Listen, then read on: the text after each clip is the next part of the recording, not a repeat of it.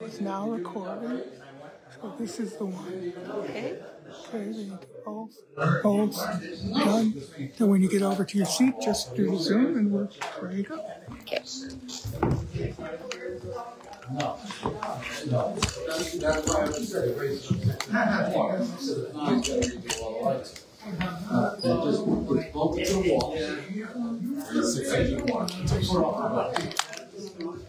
Okay, let's keep going here. Uh, Pastor Ken's gonna be a little late, so he asked me to get things started. And, uh, welcome to Bible study. Um, Good evening. Let's start. Thank you, Lord, for today. Thank you for all your blessings. Thank you that we can uh, open your word and study. And just illumine us to uh, the word you have for us. In your name we pray. Okay, we're going to continue in Daniel, chapter 11. But um, Pastor Ken asked me to go over one of the most infamous characters in the Bible, uh, Antiochus Epiphanes. So we're going to uh, look at his character and the Antichrist. So let's see. Kathy, could you read Daniel 8, 3 through 9?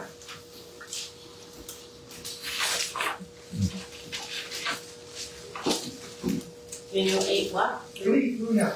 Oh. I looked up and there before me was a ram with two horns standing beside a canal, and the horns were long. One of the horns was longer than the other, but grew up later.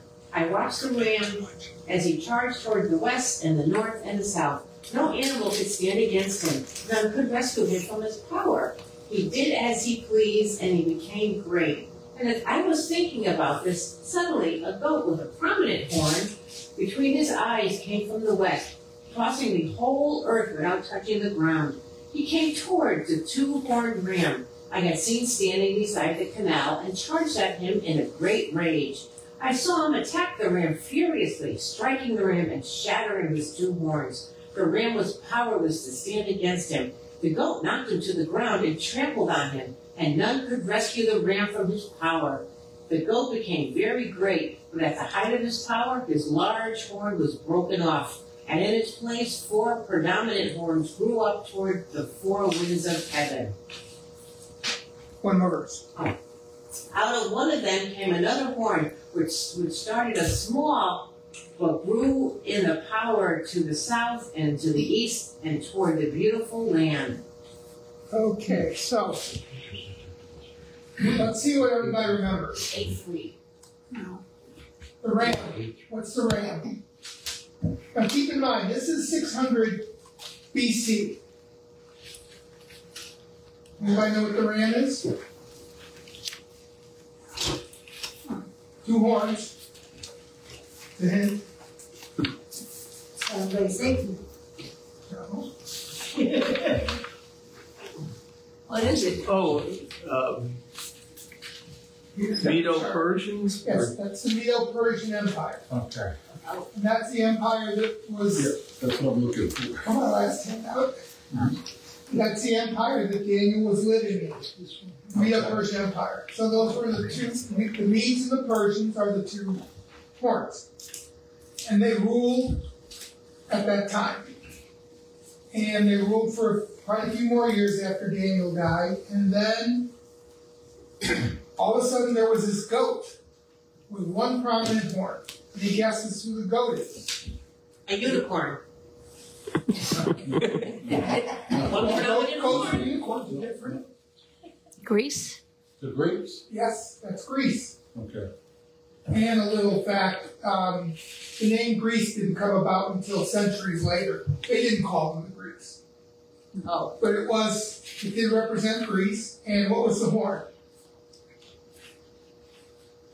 Or who was the horn, I should say? Oh, they're, um,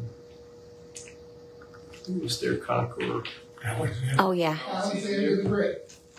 So Alexander, and it says how it came in and it just crossed the whole earth without touching the ground, just blew through. And that's how Alexander conquered the world at the time. He just came in, took his armies, and just blew through and destroyed everybody. He took over.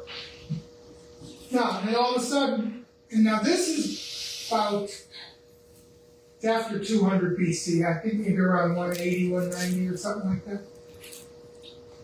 Alexander died all of a sudden. And he had sons, but they didn't take over. There were four generals that took over the Greek Empire.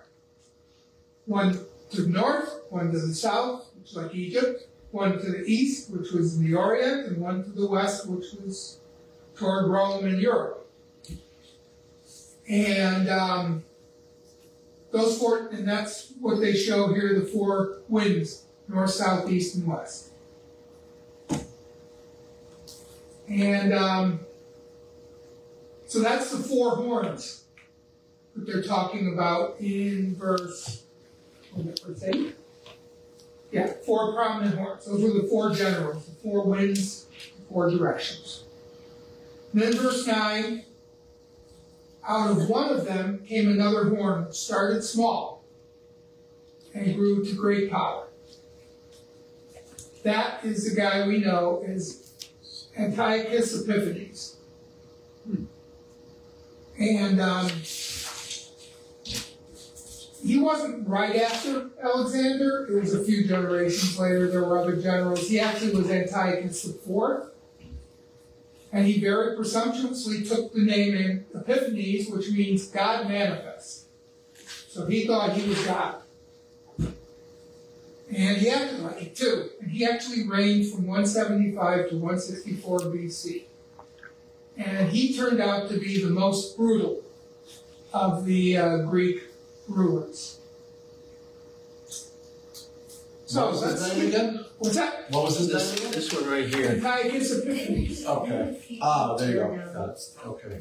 So we're not going to go over that sheet, but that just is, you'll see where we're going with that Yeah, a little later. so So following along. the right side shows you a little bit about him. Mhm. I think it's the right side. Yeah, yeah. Yep, thank you. I had Antichrist on the left. Yeah. Okay. Do you need one? No, I got one right here. Oh, okay. Just my notes are buried in. This can be very confusing. And this guy was a really bad guy. The way he got to power, I, I think Pastor Ken was talking about it. Um, intermarrying and merging and killing people and going in, and he was just a really bad guy. But he was also very deceitful. He didn't go in and overpower people. And we all know who can be very deceitful, right? Okay.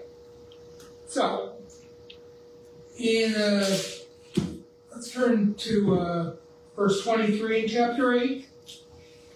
And, um, Ron, could you read twenty-three to twenty-six? Chapter eight, Chapter eight, yes.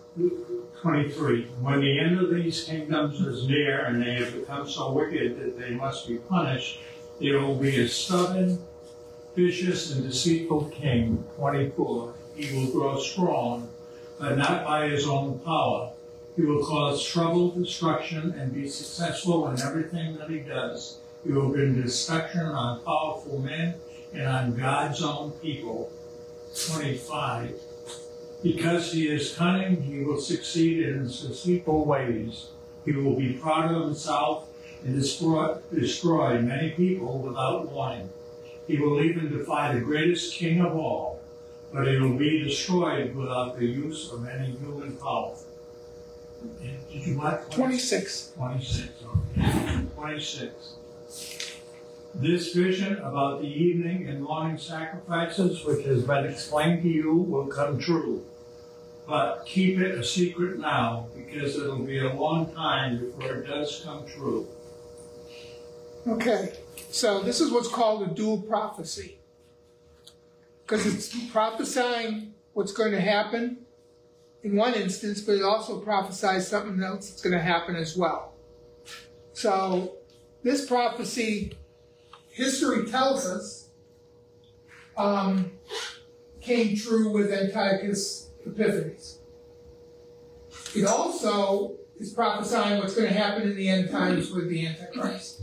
You can see the parallel after we studied Revelation, all the various things. And um, that's why I had Ron go through 26. It says, seal up the vision for concerns of distant future. So, what was the distant future from 600 BC?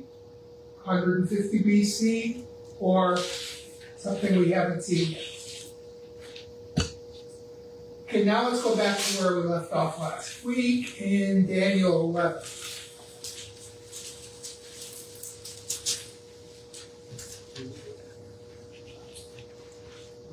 And, Connie, can you read Daniel eleven, thirty-one and 32? 31 Okay, some of the soldiers will make the temple ritually unclean. They will stop the daily sacrifices and set up the awful horror. By deceit, the king will win the support of those who have already abandoned their religion. But those who follow God will fight back. Wise leads other people. Good, thirty-one, thirty-two.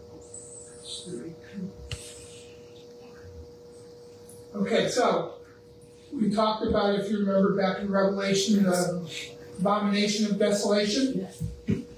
Well, this guy also did, he went in there, he erected, I forgot what statue it was, right in the middle of the temple and stopped all the, uh, sacrifices the Jews were making.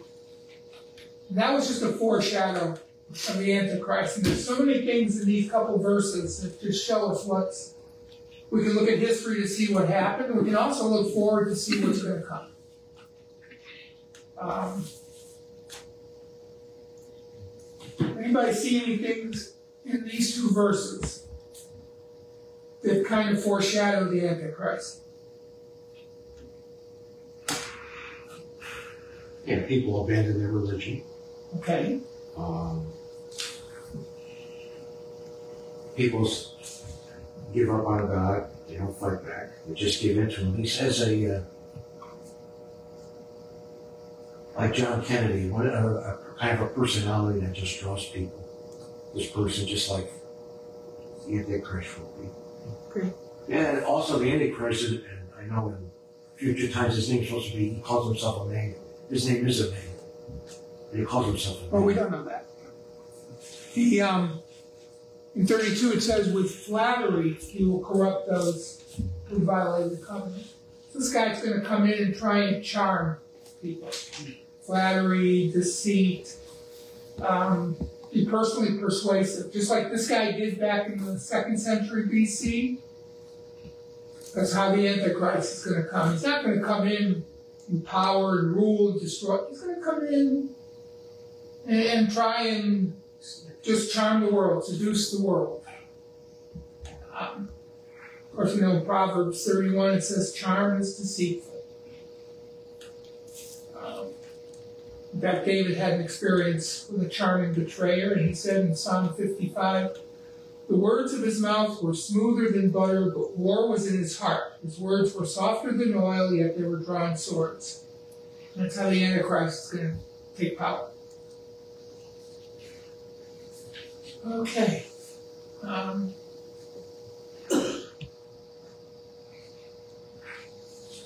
what else is in there? I think Anthony hit on it. It's going to corrupt and seduce those who have a covenant with God.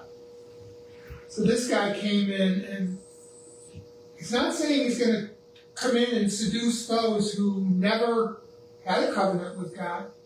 He's getting people to backslide. And that's what this guy did. He went in amongst the Jews and he got them to come to his side with his flattery. And again, another parallel with how the Antichrist is going to come. He's going to come and he's going to try and seduce not just the world, but he's going to try and seduce Christians with the wiles of the world. Try and make it seem so attractive and everything.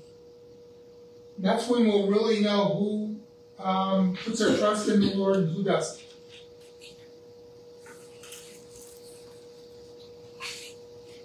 But there's a promise in there too. What's the promise in there? Anybody see it?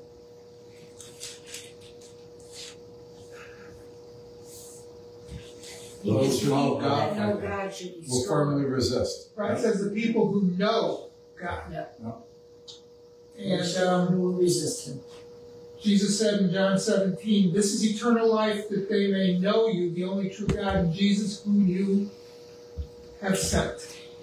So knowing God, that's what's important. Yes, My question is, we read this, we study it, there's a lot I don't understand, but how can the Antichrist come and change people when they know the truth? well, I I mean, we know that he's coming, right? We know. That's why it's the age of deception.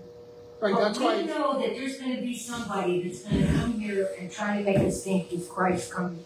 Oh, yeah, I know what you mean, But we know You're that. gonna slide in and head you down. and, yep. and that's, that's why you need to study, you need to know the word so you can resist, and you need to know God so you can resist. And there are those who kind of on the fence, wishy-washy and everything, and they're gonna be Surprise. open to all that. Not me. Okay, the other thing was, how do we know this wasn't just history? You know, there's, um, there are some theologians, there are few, but unfortunately they're persuasive in some areas, that believe that this part of Daniel wasn't written until the first century BC because it's so specific and so accurate that someone must have written it afterwards and, and they just append these things to it. So how do we know that that's not true? And that this isn't just talking about that period of time? Any guesses?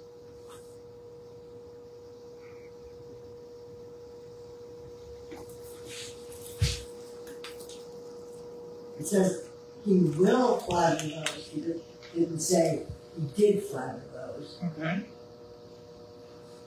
in thirty-two. And it also says in chapter eight that it's the future. But how do we know that wasn't just written that way? We don't. We just took the word and put the right words in. Actually, we do. Wendy, look up uh, Matthew 24, verses 15 and 16.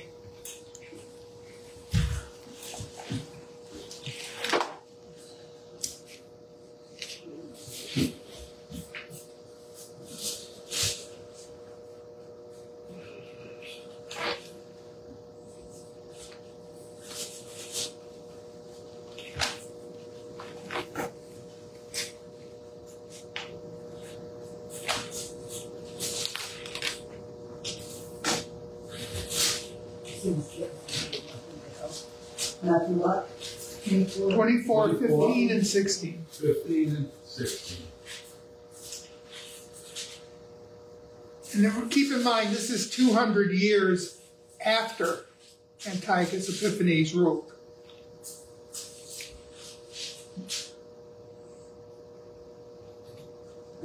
Matthew twenty-four, fifteen.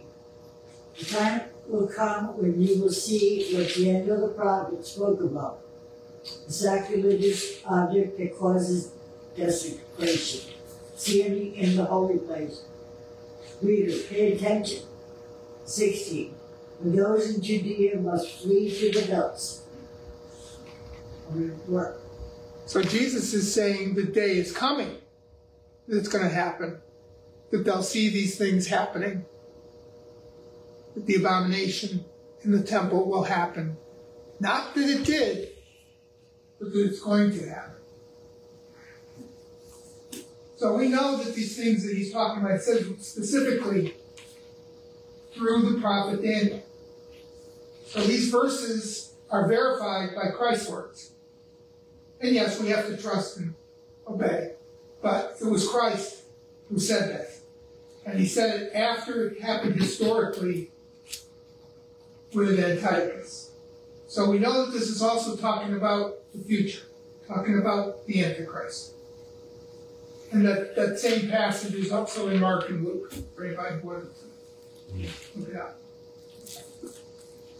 Yeah, there used to be a show, I don't know if it's still on because I don't get cable anymore, I stopped it because of financial, but The End Times, called The End Times. And one of the gentlemen that did it was father-in-law and son, he was died of COVID. but it was the end times, they used to send money to the ministry. Hmm. It would be, they talked about the warning, sending pamphlets to Israel. Now ahead of time warning that the, when this happens to flee, get people ready. This is months ago. Setting up a network where contact people, mail stuff out. And I would watch it every Sunday night, like eleven thirty. Okay, so that brings us up to where we left off last week. Go ahead, Pastor Ken. I prepared to lead. Uh, any thoughts on what I've thrown out here? What you said about who wrote this in the end. Well, reading that, what we just read in Matthew, Jesus said what Daniel said, Right. so we know that it came from God. Right? Absolutely. Okay. I just said there are Bible scholars that say that, but I don't think much of But if you read that after hearing that, Yeah. then you know. Yeah, if you read that, how can you question that it was not part of the original scripture? Well, like a lawyer, I have to bring up both sides. Okay. Well, while we're waiting, I just, I found something that was interesting. This has nothing to do with what we're studying in Daniel, but anybody ever hear of the line in the sand? Draw a line in the sand? Oh, Yes. Hear someone across it? Anybody have a clue where that came from? I'm gonna find out. Couldn't find out. Came from Antiochus Epiphanes. Say that again? It came, came from Antiochus Epiphanes. The Greek, uh, He was attacking Egypt. And the Romans sent someone to say, don't do it. For this guy, what was his name? Um, Popilius. Went to Antiochus and told him to stop. And Antiochus said, well, I gotta think about it. So this guy, Popilius, drew a circle around Antiochus in the sand and said, decide what you're gonna do and then cross the line. And if you attack, you're dead. Not much choice, was there? That's where the phrase draw a line in the sand comes from. I just thought that was interesting. That's anyway. But fine. Oh, makes me sick. Where did we leave off last week? Did we finish election? Did. Anybody remember where we left off last? Uh, Thirty, uh, yeah, we were thirty-six to forty-five and then That's over, okay. Yes. Then why don't we go ahead and, um, I didn't want to prepare this stuff. Okay. Uh, let's go around and starting with thirty-six, let's each read a verse. Start with Kathy. Um, Daniel eleven thirty-six. The king will do as he pleases. He will exalt and magnify himself above every god, and he will say unheard of things against the God of gods. He will be successful until the time of wrath is completed, for what has determined must take place. The king will ignore the God his ancestors served, and also the God that woman loved. In fact, he will ignore every God because he will think he is greater than any of them. Thirty-eight. Instead, he will honor the God who protects leprechauns. He will offer gold, silver, jewels, and other rich gifts to a God of his ancestors never worshipped. Thirty-nine, thus shall he do in the most strongholds with a strange God, whom he shall acknowledge and increase with glory. And he shall cause them to rule over many, and shall divide the land for gain. Forty. Then at the time of the end, the king of the south will attack him. and The king of the north will storm out against him with chariots, cavalry, and vast navy. He will invade various lands and sweep through them like a flood. Forty-one. He will also invade the beautiful land.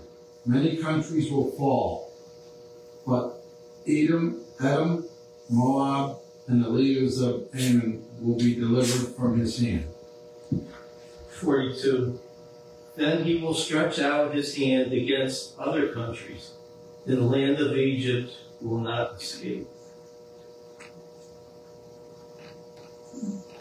I'm gonna pass, I forgot the Bible. Oh. You guys read better anyway. Forty-three, Diane. Forty-three, Sorry. he shall have power over the treasures of gold and silver and over all the precious things of Egypt. Also, the Libyans and Ethiopians shall follow at his heels. Okay, I'll read the last two. Yep. But reports from the east and the north will alarm him. He will set out in great rage to destroy and annihilate many. He will pitch his royal tents between the seas at the beautiful holy mountain. Yet he will come to his end, and no one will help him.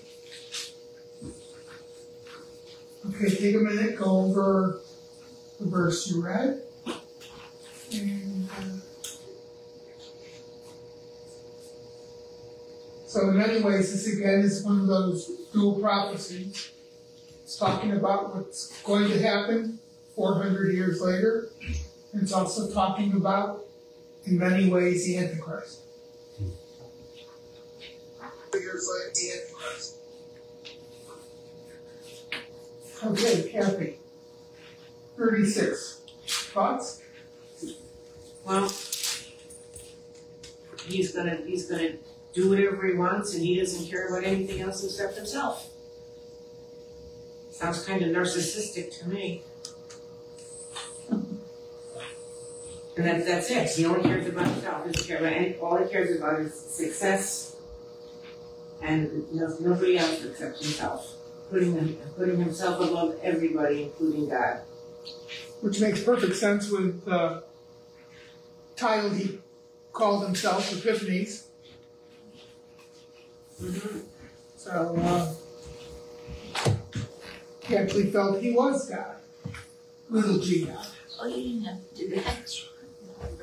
Funny, it's funny. You have the next verse. That he was the word of God, ancestors is true. Also the God that woman loved. He'll ignore every God because he thinks he's greater than any of us. Yeah, he, he thinks that he is, he is the main God, he is God. He's above everything else. He is. He's it. And again, that's just what we've learned of how the Antichrist will be when he takes charge of the world. Hopefully, we won't be here for. it. Um, prayerfully, we won't be here. Yeah. Maybe Putin's here, he might be there right now. In fact, Dave Baxter was the name of that person with the end time show, Irvin Irvin Baxter. Creepy anymore. Ron, you have the next verse? Oh, I I was getting, what was it, verse 38 instead of them, he will. Thirty-eight? Oh, what I read. What you read, yes. Yeah, I guess it was. uh, Honor the gods that would protect the fortresses and offer the gold. Well, that's right. Um, he was offering friends that, uh, you know, big jewels and gold and everything else that he had in his possession. And, uh, also, uh, his ancestors, uh, it says here about, had never worshipped. So he created, in essence, his own. This is how he came in. Yes. Antiochus came in and he flattered them, deceived them, gave them gifts, anything he could do to get them on his side. And uh, kind of what the earth has to look forward to sometime in the future, too. You know, everybody thinks the Antichrist is going to come in with a heavy hand and everything. He's not. He's gonna.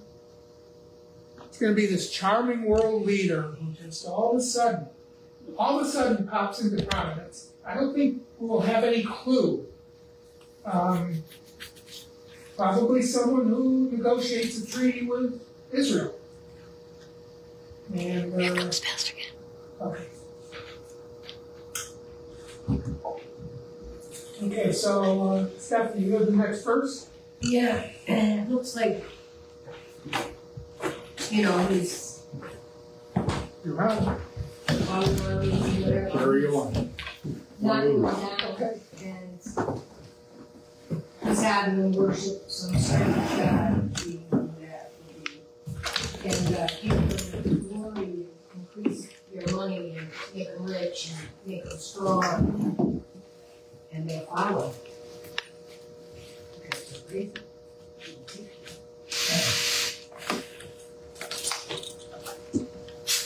And if you're gonna go north, south, east, and west, you just understand.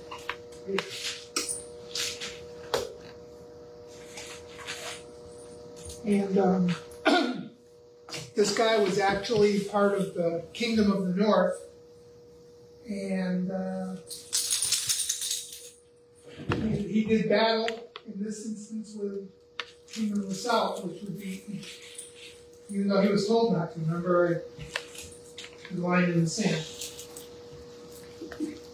Okay, Wendy, you had 41? Forty. 40. Okay, the, the king of the south could attack him, and then the king of the north could throw out against him. The chariots, cavalry, and castle. They, we, you know, invade the various lands and sweep through them like a flood. He said, it's just gonna, it's gonna be holy havoc. It's gonna be totally insane, like it's not already. And this won't be the first time he's tried it. Go back a few verses, he actually tried it, lost. He's not gonna give up, because he thinks he's God. He went back and he bribed all his people and got his armies together, and now he's going in and Yep, petting everybody down, just come with me. Here, here's some jewelry for you and some gold and whatever you want. uh, 41. Anthony. 41, it talks about him invading the beautiful land and the country's falling. Um, and, and he says about, I guess, Edom, Moab, and the leaders of Ammon will be delivered from his hand. So I guess he's going to be turning them over to, to someone. Is, is, you know, is that what he's doing? You're the history person. Yeah, I'm just trying to figure that one out, you know, is he, is forty-one, is he turning over the land to someone else to rule? It's kind of interesting to me that, that these countries, Edom and Moab, are down to the uh, southeast of the Dead Sea. Um, Mine says rescued, Rescue. saved. Action seems to be in the north and the south and to the west. But uh, these lands, uh, and you would think they would fit into Arab and Muslim lands today. That I can't quite get the handle what's going on here with them. Why they're defined in this way. Special. What's that about? But Peter, you said yours says rescue, Rescued, like they were special, saved. Saved. Yeah, mine says be delivered from his hand. Mine says it, it, it will escape. Maybe, maybe because they're in league with him. Uh, I'm curious who would deliver. him. Doesn't say anything. yeah. So I, I question Mm. what exactly what's going on here.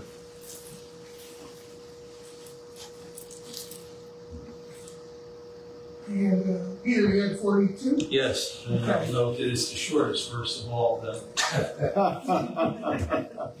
Well, I can let you talk about 43 as well. Yeah, great. But But also, it says that, um, he's gonna be, I- I guess he's gonna conquer like Alexander. He's, he's gonna go right through Egypt and, um, and no, nobody's gonna be able to stop. Sounds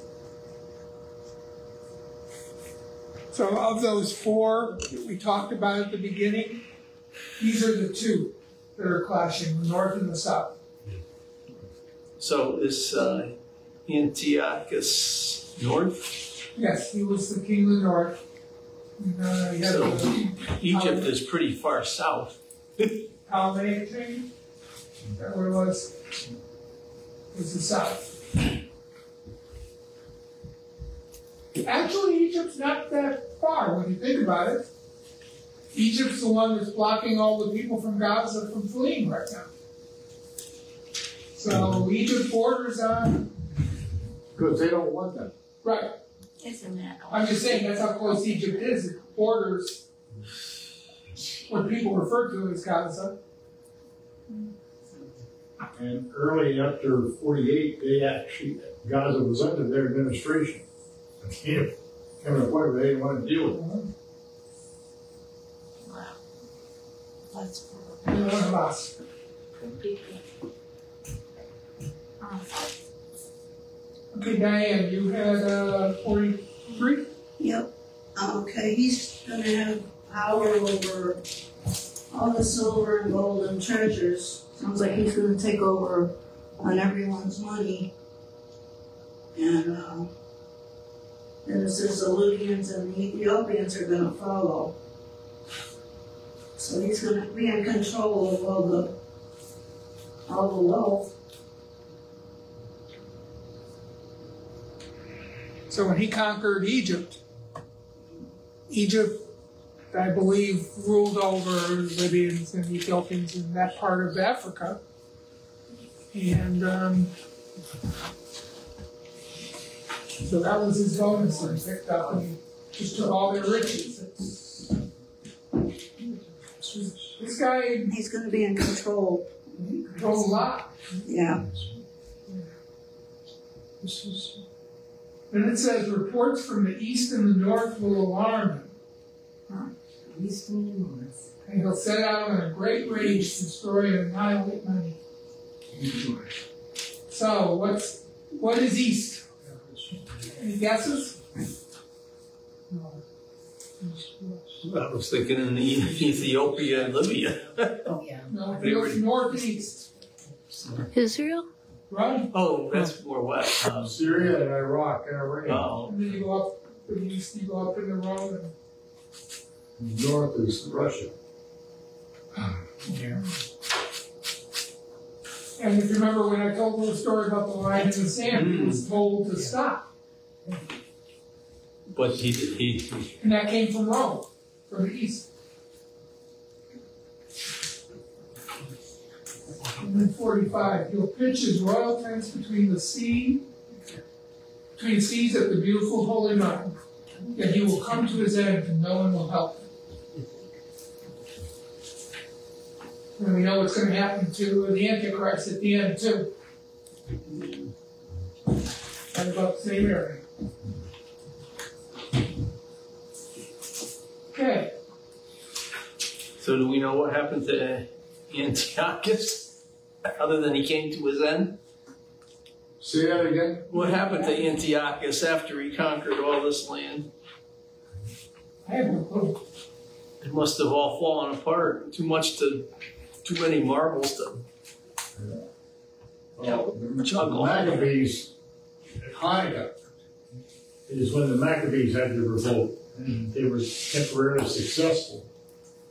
And, uh, because of what he had done in the temple, uh, so that pretty much ended him, their revolt. Uh, and then after that, the Romans came Yeah, maybe that was the, that was the. So he was like the last of the Greeks. East, as Bucks. Yeah. That was probably at the Romans when they came in and they blew everything apart again. So again, this is not just a prophecy of history that's gonna happen. That we see has already happened, but it's prophecy of things to come. It's a very interesting chapter because there's a lot of very specific things that are mentioned. Got the future, and then things like we just talked about here, the analogy between this guy and the Antichrist. Uh, I mean, Jesus referred to this in Matthew 24, the abomination of desolation. He's talking about something different than what happened under this individual. So that's yet into the future. Uh, and obviously, many there's many years into the future. Uh, so the analogy I mentioned last week is Matthew 24, the destruction of Jerusalem in 70 AD, the return of Christ, and what took place, going to take place before that in tribulations, many years in the future. Yes, there's like two different, and this is the same thing here. Um, he was told about being told about something that was going to come up in a couple hundred years versus something that still future yet. And Daniel was, you know, told that I'm being given you these prophecies about the future. But it was really like two futures in a sense, and uh, many years in between. And his response, you remember, was uh, it really uh, kind of overwhelmed him. In chapter 10, where like he goes like three weeks of fasting and all that. Because he's, and this is Daniel who's had a lot of experience with visions and dreams and being able to interpret things for other people. Uh, but uh, what he was being told here, well, it's going to come for the next couple hundred years for his people, and then even far into the future, yes, for us. Although, look the events of the world today, you have to say, probably not too far in the future. you know? Uh, it's the Antichrist and you get just, just the world we live in today. You got the situation in Ukraine where it's another one of European wars. We've gone 78 years without European wars, but the history of Western civilization in Europe is just wars upon wars. Uh, it's just kind of hard to believe after World War II, we've gone all those years, there's another European war going. Uh, of course, what happened with World War One, there's all these treaties and that stuff that sucked one country into it. It became, became a world war. Uh, and 25 years after that, because of the way that war, you know, war doesn't solve anything really. doesn't solve anything. And World War One is an example of that.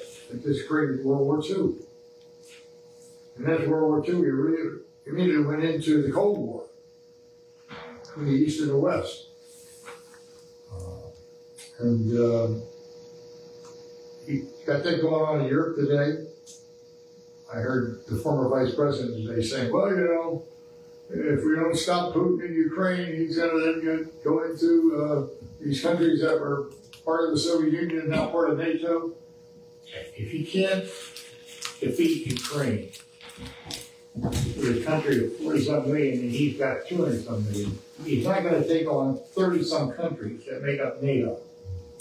That's fun, I I heard your politician saying that as a scare tactic. He ain't going to do that. He can't defeat Ukraine. He's not going to take on 30 countries, including the United States. That makes sense. But uh, they're still concerned with what's going on in Ukraine, obviously. But the biggest concern is the Middle East.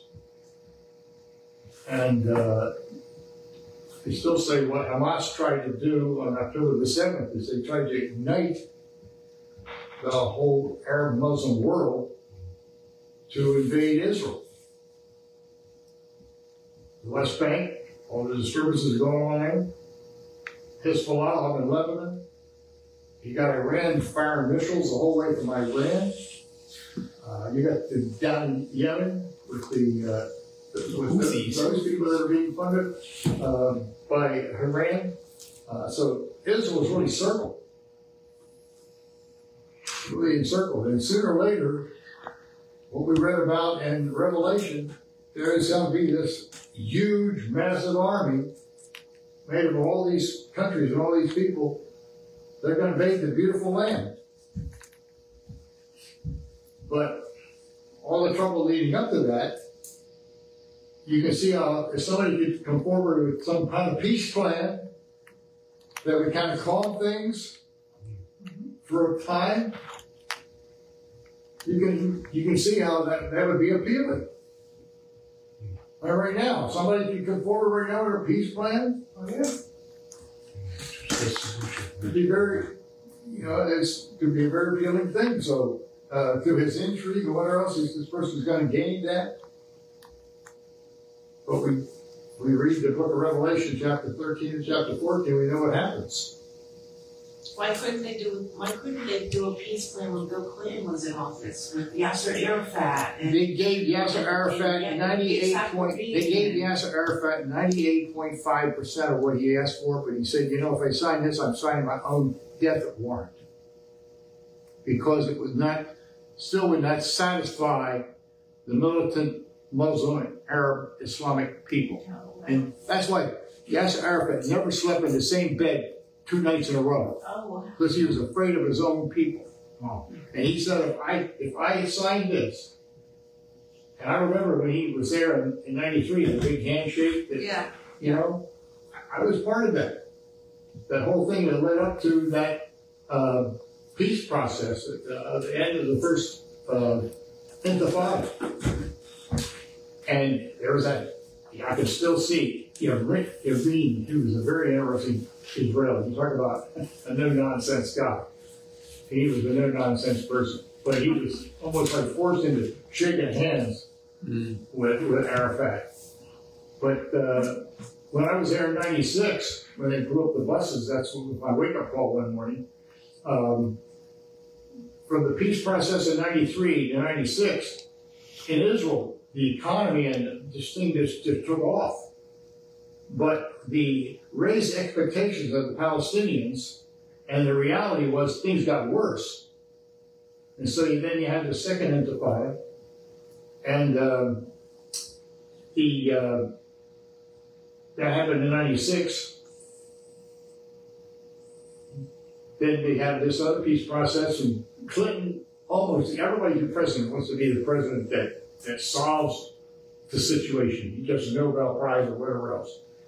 And I'm going to tell you, they, they offered him 98.5% of what he was looking for, and it wasn't enough. Because it, when you hear free Palestine from the river to the sea, that means no Zionist entity. That means no Israel. That's what that means. So they're never going to be satisfied. They think, they think you've no history. When the Crusaders went to take the Holy Land back from the Muslims, for 200 years, the Crusaders were able to capture Jerusalem, and they built they built these uh, fortresses that looked like stuff that was in Europe. And for 200 years, there was a Crusader state around 10, 1100, until Saladin was eventually able to defeat them. But the Arabs think that modern day Israel is going to be like that Christian state that was there for a period of time and then gone. Except they don't read the book of Amos. The book of Amos says, when they're back in the land, never again, never again will be uprooted. That's right. And even though there's going to be this attempt, I believe, to invade Israel, uh, and it's going to happen, uh, the only thing that's going to spare them is that's when Messiah comes. I said to this, the guy that was, he had actually been the chief rabbi of South Africa. He came to Israel. He was appointed to be the ambassador from Israel to the Vatican. Uh, and I actually helped sponsor him. He came to the States. He was in New Haven. Uh, brilliant guy. Just, I, mean, I wish I, he had this British accent. You know, anyone with a British accent, this sounds so intelligent. Or authoritative, yeah. And he had these big 50 cent words. And I had come talk to our group. And I'm still trying to like get over jet lag. And this guy, you know, I didn't want to fall asleep sitting on the front of the group. You know, anyway, uh, he was a very interesting guy. But uh, I said to him one day, because I was doing a paper on messianic expectations, because uh, Orthodox Jews do believe in a mess- Messiah figure. You remember the story I told you about uh, Senator Lieberman? And when his four-year-old grandchild heard that Pop Pop died, and the mother said they were going there, but you're not going to see him. He said, "Well, we will see him again at the resurrection in the end." Four-year-old Orthodox Jew. This is what Mary and Martha they were. They, when Jesus said, "You know, you're going to see him again," oh yeah, we understand. There's going to be this resurrection. So Orthodox Jews believe that, and Orthodox Jews also believe in a messianic figure. A lot of the more liberal Jews don't believe it, but they they have this peace thing, and so they're hoping for a, a period of peace. So how do you have peace without some leader?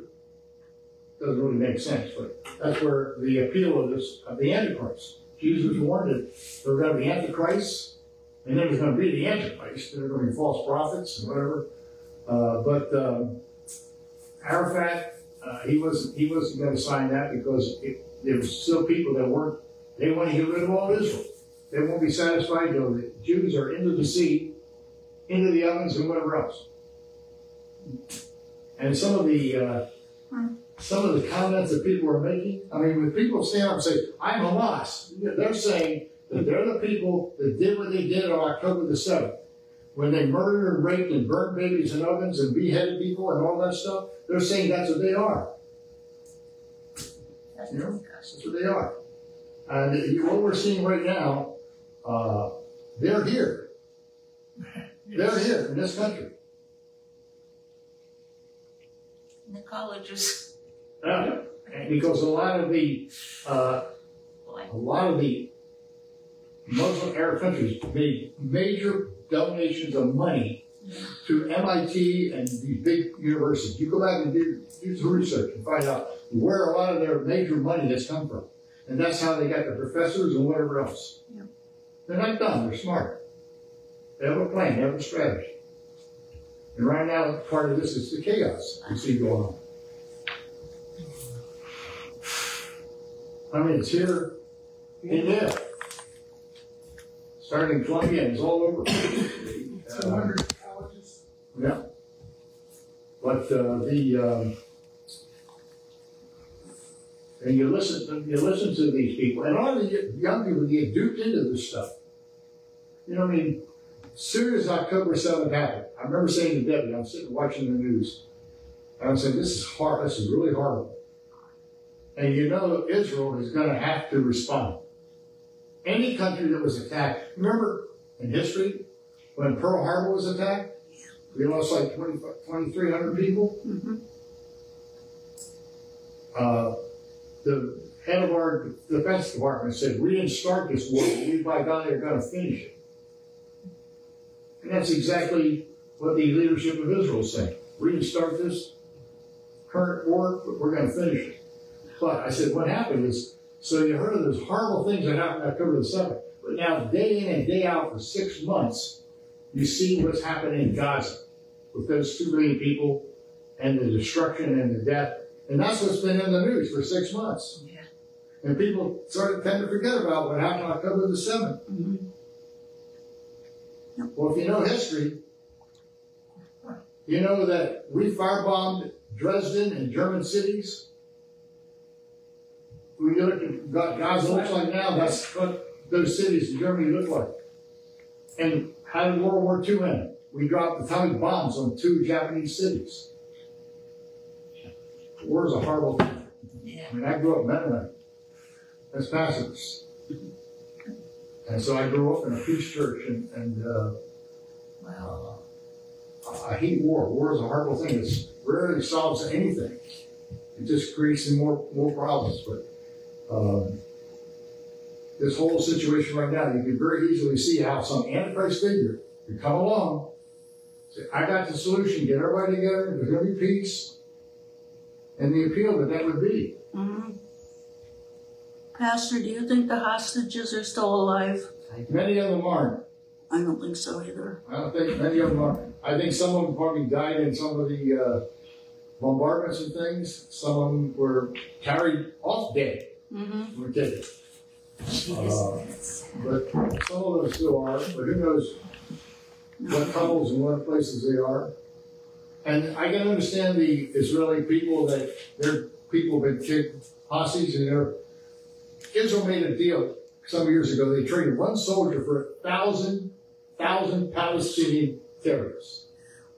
And that to me is that is just not a good thing. It should be a one for one. Mm-hmm. Yeah. Because all you do is you put a price on everybody else's head when you deal with terrorists in that way.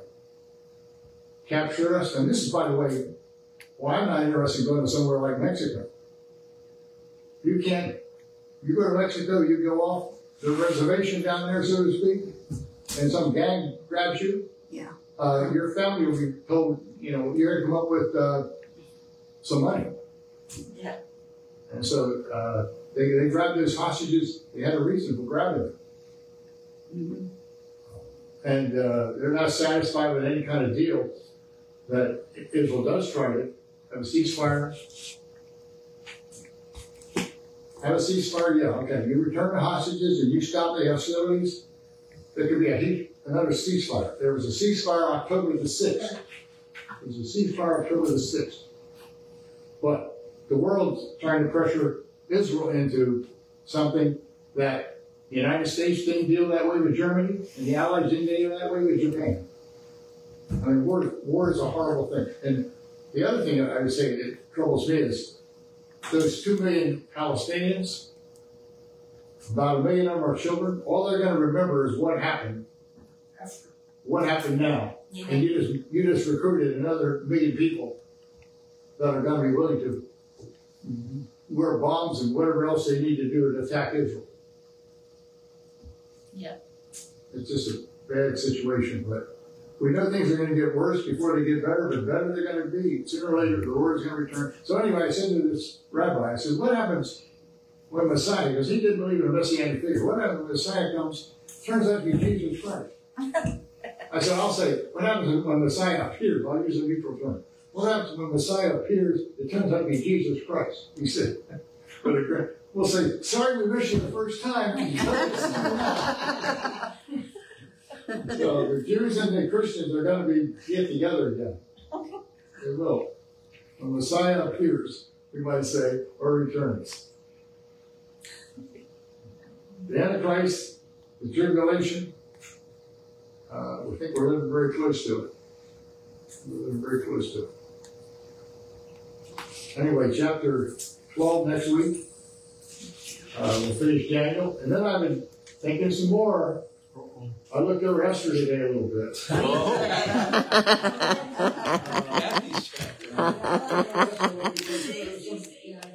Some similarities with Esther and the book of Ezra that follows the book of Esther. That's a possibility. Exodus is a possibility. Ephesians is a possibility. A lot of things we get to study the Bible. You know, and uh, But everybody knows Exodus. They're all E's, Kathy. Yeah, no, but doesn't everybody basically know Exodus? I mean, how many people really know the, the, the story of Esther, how she saved her people? did you did you cover that verse here for Kathy? Verse thirty-seven. Oh, Verse thirty-seven. You should remember- Special homework. Yeah, it Follow was, yeah. Special Or assignment. for one is that, by the way. I, I'd, I'd cut her a pass. I wasn't here for verse twenty-seven. Does anybody have any, another reading on verse twenty-seven, uh, verse thirty-seven? I got the NIV. Oh, I had an idea. Uh, somebody read it in some other translation beside NIV, verse thirty-seven.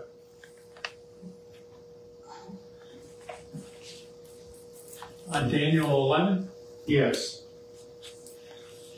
Eleven thirty-seven. the king will ignore the God of his ancestors served and also the God that women love. In fact, he will ignore every God because he will think he is greater than any of them. That's the good news. I have a different version. Yeah. Uh, he shall, excuse me, regard neither the God of his fathers nor the desire of women, nor regard any God.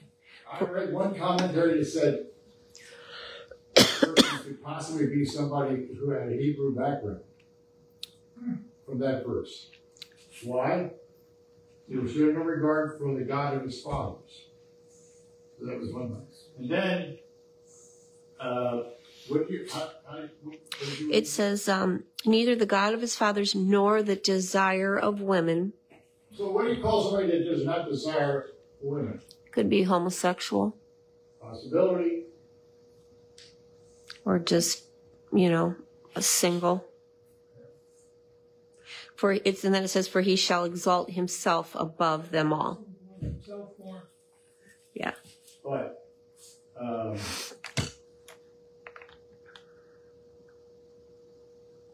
the other is they are, God is desired by women, some say, well, that's, uh, you know, think of all the women that uh, were followers of Jesus, and they were there at the cross, and they were there at the tomb. Mother's Day sermon coming up. Mine says for the, for the God beloved of women. Yeah, God be loved by women, yeah. So next week, chapter twelve, we will finish up again. So I want you to be praying, please pray, be praying for May the fifth. I can tell you, you know, minister for fifty some years. Sometimes some stuff happens that I just have to say, it comes from the evil one. And anybody that's been in the ministry long enough would verify what I'm talking about. So when you pray for God's blessing, protection. Uh, because believe me, the devil does not want us to have a very successful day that day, successful, I mean, spiritually blessed day. He doesn't bother the dead churches or the churches, nothing going on. He doesn't bother those churches. Sue Shields. Oh, at the bank. Yeah. And Sue was a, she was not the typical bean counter. I, I, you know, a lot of times bean counters, all they, just are very numbers people, and they're not people person, they don't have a vision about things, but Sue was not a typical bean counter. Uh, and our young man is taking over, uh, who is the executive, uh, vice president, gonna be the next CEO, Santiago, so we've gone to having a woman to now having a Hispanic. So this is the different world we live in, but it's still the Milford Bank that supports everything that moves, everything that moves in town. Heavenly Father, we give thanks for uh, your word, that you revealed yourself to Daniel, even though it's uh, some very troublesome things here that perplexed him as he's trying to figure out these things, even we're trying to figure them out. But as we look at the events of the world today, uh, it's a little easier for us to picture these things than uh, what it was for Daniel 2,500 years ago. We ask your blessing upon uh, this church. Uh, special celebration coming up on the 5th, but more importantly, for this church to remain a, a lighthouse down here on the west shore of Milford, going back to 1895, a vision of doctor, lawyer, and minister who wanted to have a Protestant place of worship, place to hold forth your word. And uh, we just pray that indeed we would remain faithful to you and your word until indeed uh, you return. Uh, we ask prayer for those who are uh, struggling with health issues. We think of Bev at Gaylord. We think of uh, Joe at home, ill, and uh, a host of others. We just have a lot of some people dealing with some physical situations. Uh, I do pray for my mother-in-law in Virginia. Uh, pray for Frances that she would uh, have healing and be able to get back home, have some mobility and free her from pain. We remember um, Cassie also. She um, uh, deals with different physical things, and also um, a, family friend of ours. Uh, her name's Pam. She's in a nursing home. Hadn't had a stroke. We pray for her, and of course, we remember all of um, those that aren't here tonight. Um, we think of um, Matthew and Beatrice, and um, others as well. Pray um, uh, be with each one and also be with all of our families and our children uh, for protection and uh, to be uh, seeking you, God. Heavenly Father, we just ask for extra protection minister and his family and this church, Lord. Just find the devil that he's put him as far away as you wish and bring on any additional angels and guardians uh, that you see fit. And we just give you thanks and praise in your name, and we ask this in Jesus Christ, our Lord and Savior. We do pray for the fifth, Lord. We pray your hand. We pray no weapon prosper against our church, but anything coming one way, flee seven ways. We ask for your Holy Spirit, Lord, to uh, fill each one of us and to fill our church building. And uh, we ask for your presence, God, that you would be here and just do your work, be free to do what it is that, that uh, pleases you.